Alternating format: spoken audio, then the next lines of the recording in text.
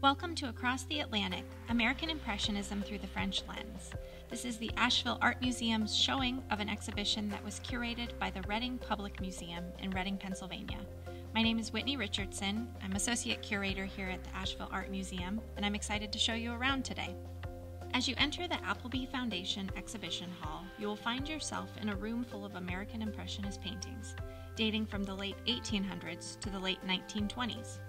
The style of painting known as Impressionism embraced depicting the effects of changing light on a common everyday scene, as well as the technique of applying quick and loose brushstrokes for a less structured composition. In this gallery, the viewer is being introduced to the artist from France who influenced the development of Impressionism. The group of artists first known to embrace the subjects of everyday life and who are interested in the depiction of light and atmosphere are known as the Barbizon School.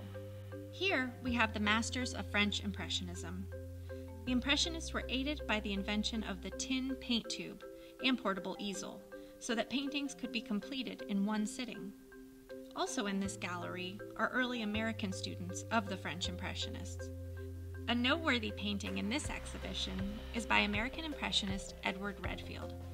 Redfield has cited the famous French Impressionist Claude Monet as one of his greatest influences. Here, Redfield depicts the foothills of the Blue Ridge Mountains, which of course are located here in Asheville, although I think he was depicting them from their northern edges in Pennsylvania.